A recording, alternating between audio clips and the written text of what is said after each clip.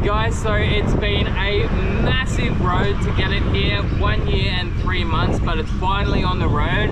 Um, but to be totally fair, one year and three months considering how bad the car was, it's actually pretty fast, especially considering that it's just been a sort of a side project for me. I have had a full-time job to do um, in the meantime as well. Anyway, let's finally take it for a spin. Yeah!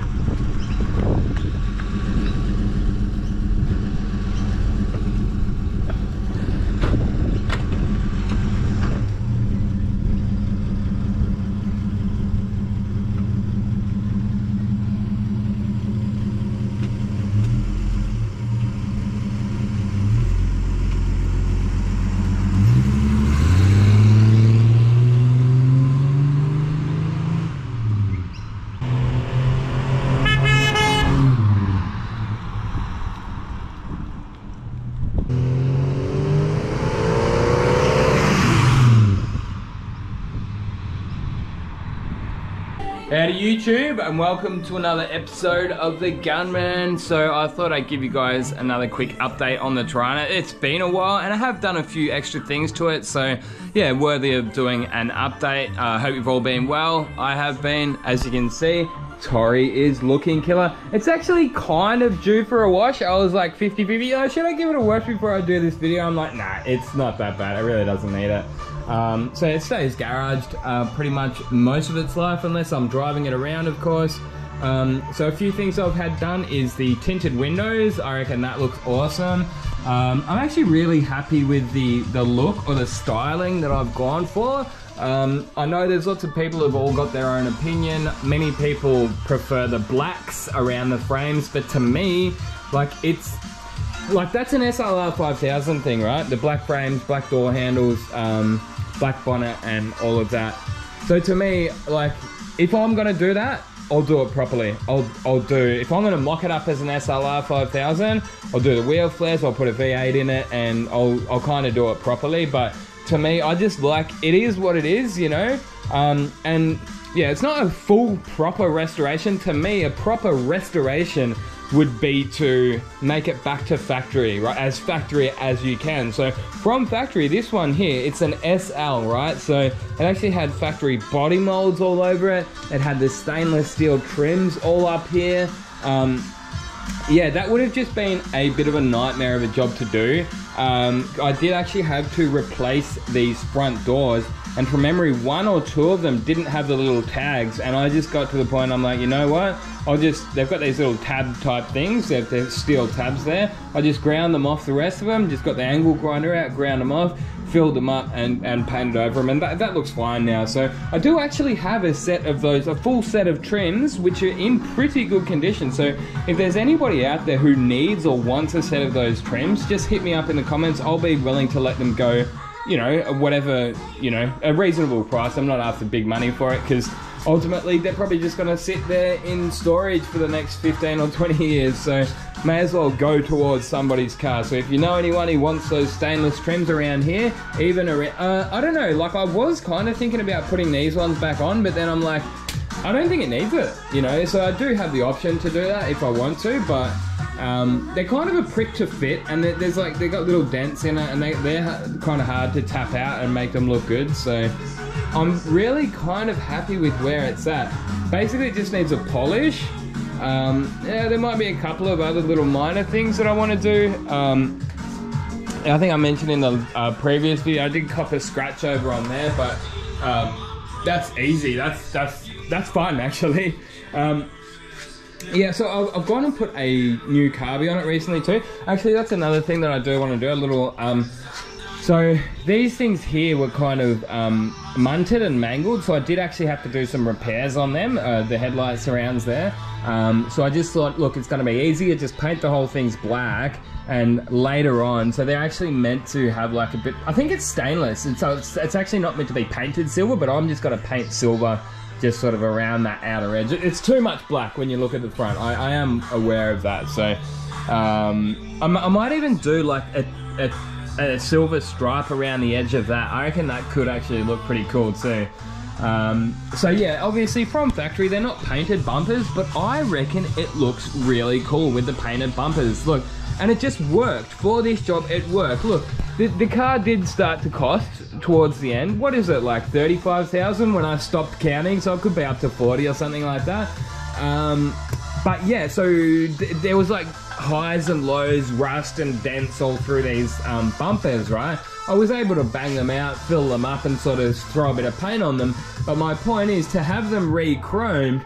You're looking at say fifteen hundred dollars, and I'm just guessing there. So probably I'd say minimum eight hundred dollars, or, or up to around fifteen hundred dollars to get them both chromed. But they would have to be in good condition to chrome them. You know what I mean? You can't have them. They needed panel beating anyway, so. Um, yeah, this this car has had more hits than Elvis. It's been hit front, back, rear, side, like everywhere, um, including the bumpers. So uh, yeah, so the front was probably the best as far as rust goes.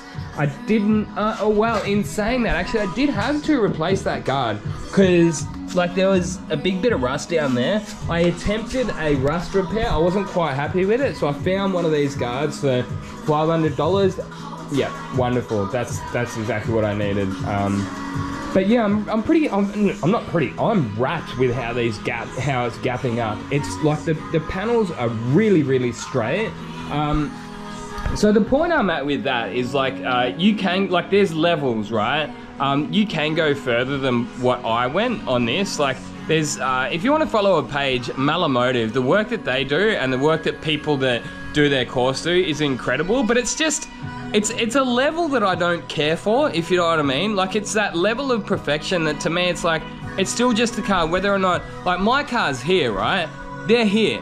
But to get I reckon to get that extra five or ten percent is an extra 90% work on the um, on the body. And I just don't care for that you know? When I'm driving down the street and everybody's checking it out um, I really don't care whether or not it's that last 5 or 10% I just want the 90% there type thing. And and either way you look at it what's underneath the metal is kind of still pretty rough you know? Um, yeah. I mean some panels are worse than others but like basically the whole car has been skimmed from ear to ear. Anywhere um, that needed filler got filler.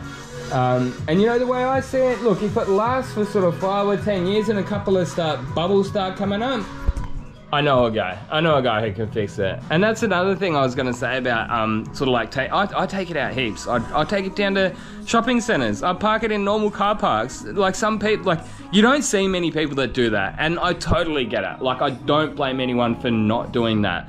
But that's like I've got a different mindset. I'm a spray painter. I know how to fix it. If someone opens a door on it, I don't want that to happen, of course. But if it happens, it happens. Like I'm not. I'm not gonna let that get in the way of me enjoying my car.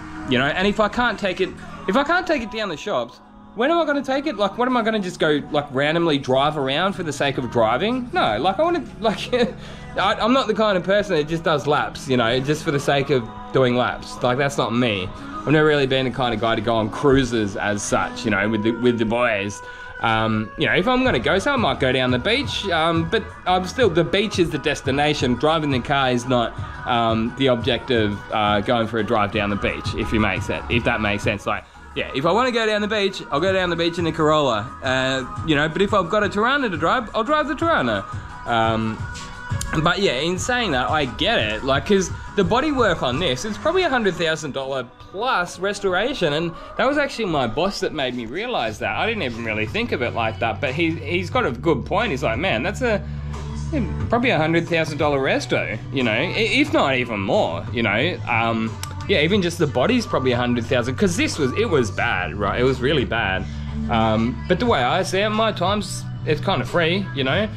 Um, and in saying that, I'm glad to have my time back. It's actually really good to have all of my time back and yeah, be able to enjoy it um, and just sort of enjoy my weekends and sort of watch movies. And yeah, that's another thing I was going to say. Like I've been thinking about lately is like, um, I feel like I've clocked YouTube, if you know what I mean. Like I've done all I came here to do, it, well, and more, and like tenfold what anything I came here to do. So um, yeah, it's nearly 10 years. It's nearly my 10 year anniversary on YouTube.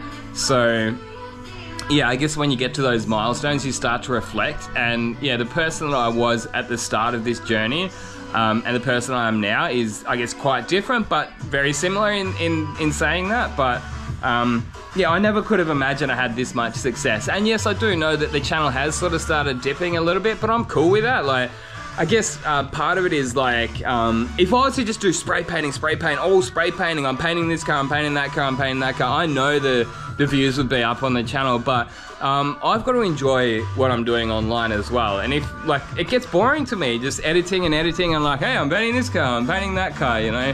At the end of the day, like, I feel like it's been done. Um, I know lots of you guys just don't don't mind, that they just like to watch me do spray painting videos, you know, but um, like I say, I've still got to enjoy it. Um, I, I, actually kind of enjoy doing these vlog style update videos, so yeah. But again, like I said to myself about three years ago, um, I'm only going to do videos when I want to do them. Like I'm not going to push myself. So at the start, like I was, I was pushing myself and just building the channel, building the channel and all that. But now, um, yeah, like a few years ago, I got to the point, I'm only going to do videos when I want to do them. And that was kind of around the time that the channel started dipping. But like I say, I'm cool with that. Anyway, let's have a look underneath the bonnet. I want to show you guys the new carby that I got. Um, unlock.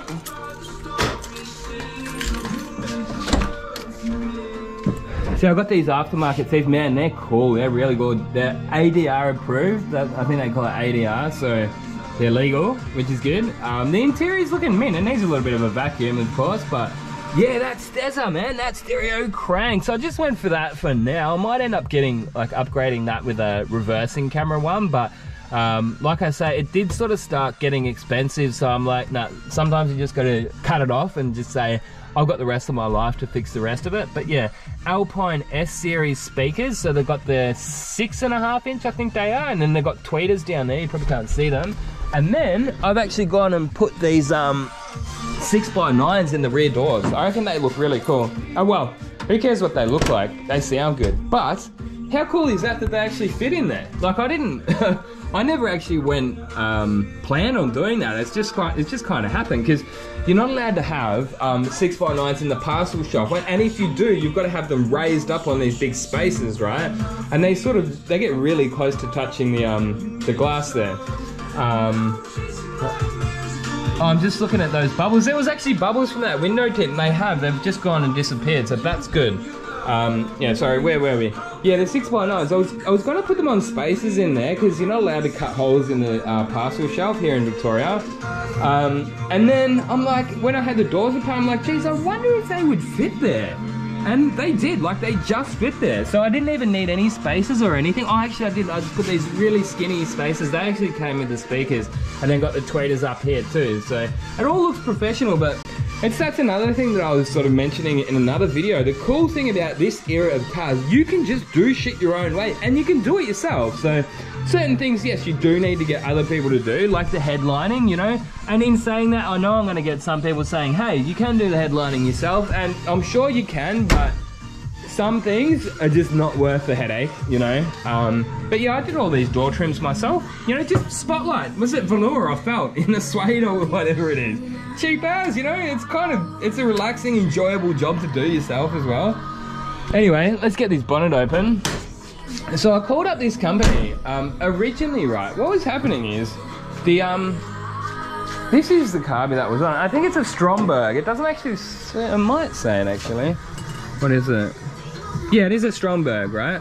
Um, so that's the Stromberg. I think that's just the factory one that came with it.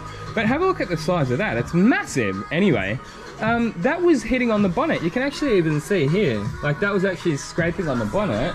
Um, and you can see that ring there from where it, it had been hitting on the bonnet there um, and wearing away. So originally I was like, I was, you know, just like, I called up this Pro Carb place to see if we can get a, a carby that's sort of, sorry, an air cleaner that's a little bit lower, say down here or something. And he's like, man, I don't know. Like, he didn't know exactly if he had something that would fit it or that would be ideal for it. And I said, look, what's it going to cost to get a new carby? I said, look, no doubt it's going to be better performance anyway. Um, and he just said, look, mate, we got this one here. It was like $800. Um, and look, I, am going to give them a shout out. ProCarb Australia, they are awesome. They took the time on the phone to walk me through. So yes, I'm not a mechanic, and you know, I need a little bit of guidance here and there to make sure all the the hoses and uh, everything's plugged up in the right place. But it is relatively basic. Probably the hardest thing would, would have been to have get the um the accelerator cable in the right spot. So, but in saying that, like this new one, it came with like full mounting bracket kit and everything. So all I did was pull out one of the um the bolts for that rocker cover, uh, put a mounting bracket in there, um, and then just sort of, as you can see there, used the the other mount and then uh, a cross mount type thing from the original Carby, and then that, that's where the throttle cable holds. So. Um, yeah, the only real issue I've got now is when it's cold. So these have got an auto choke on them, and I do remember this from years ago with the auto chokes. If you can kick them off with your accelerator, right?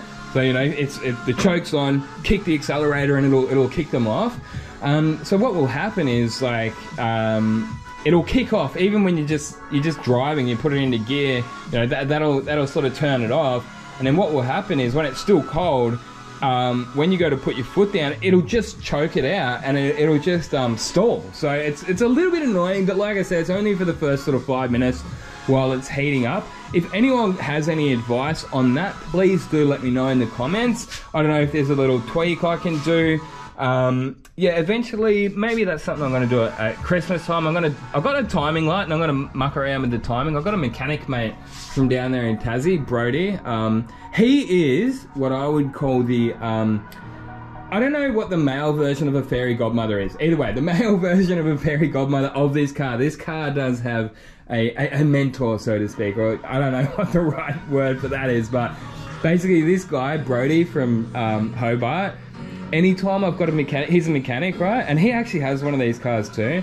Um, anytime I've got a problem, he's like straight away he'll help me because he's got one and he and he knows them like the back of his hand. So yeah, there's been many many times that I've just been like, man, can you please help me? I need I need some help on the Torana, and he knows he knows everything. So shout out to Brody, thanks heaps for that.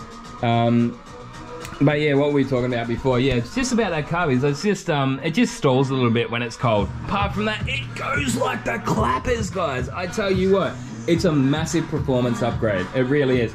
Look, I mean it, it is look, it it's not a V8, of course, it's a straight six, it's a 173, but it revs hard, man. It revs bad yeah, 80 k's in first. so Trimatic three-speed transmission in it. One other thing that eventually I might get around to is the diff. So when you go from nothing, right, so no power at all, and then you if you put the accelerator down quickly, you'll hear like a, a clunk, and it's from the diff area. So I'd like to. there's some probably some you know. Uh, I don't know, uh, gears or something uh, in the diff that it sort of loosened up a bit or something. started to wear out potentially. Um, so yeah, I've called up the diff place. It's only seven hundred and fifty dollars for a, a, diff rebuild, and again, it's not important, so it's not you know uh, don't have to get it done in any rush. And I have been spending a lot of money on it, so I'm kind of looking forward to just chilling on the money pit for a while and catching up on some other things like bills and you know life that sort of doesn't stop. But yeah, anyone who's seen this at the start will actually be pretty impressed with what I've done under here. Like, that is clean, man. Like, and I know there's some, you know, there's levels, like I say.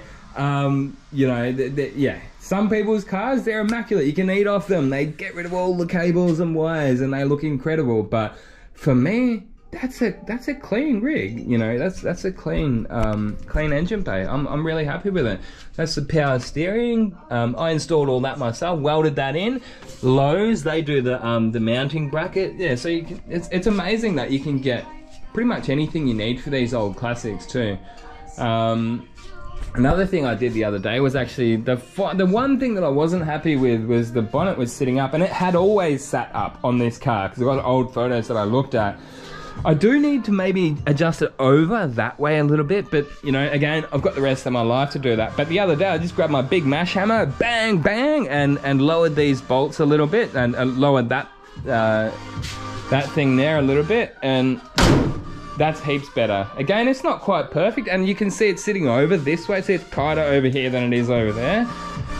Um, you know, maybe a little bit of a play around. Might have to play around with the um, adjustment at the back on the hinges or something. But hey, I- am really happy with it. Um, it like, yeah, because before it was sitting way up on this corner. It was kind of like up a couple, uh, maybe a centimeter or something. Um, wheels are looking good. I do need to get it sent back to the wheel alignment because I can notice, see this one here, that's that looks like it's turning to the right, whereas this one over here sort of looks like it's turning straight. Yeah, you don't even need to be standing way back and have a look at them, but that that's definitely out.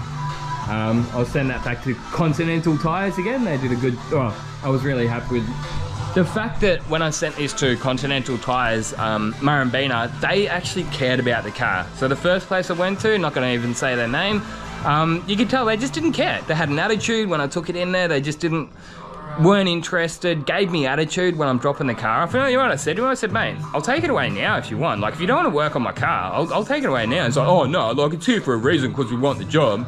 I'm like, mate, you don't care about this car, do you? Like, yeah, and I kind of get it. Um, because I'm in the trade, you know, uh, yeah, a lot of the time people don't want to work on people's, uh, you know, people's project cars because you know people can get really particular and fussy with them. So, um, yeah, a lot of the time people just want to work on ev- average everyday cars without the uh, without the stress that you get from, um, you know, picky, fussy customers. So I kind of get it, but yeah, if you don't want to work, mate, just yeah, just tell me.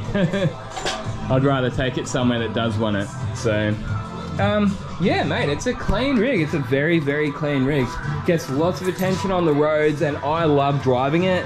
Um, it's fun to drive, and let's take it for a spin. I've got some footage. I've got to do a little bit of editing on the end of this video. Um, and that's another thing I did. I um, I'll turn that down so you can hear me. Um, yeah, so I do have personalized number plates coming soon. Gunman. Um,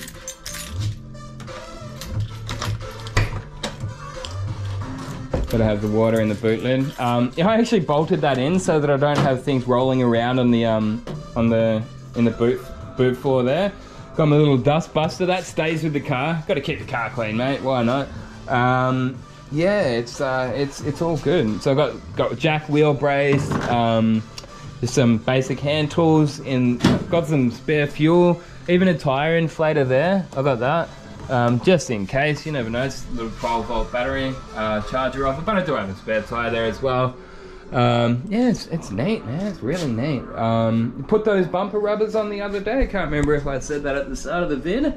Um, but yeah, that finishes it off. Like that really does. A lot of people like they looked at it before, had those bumper bumper, and like it just felt like it was missing something. And I agree, it did.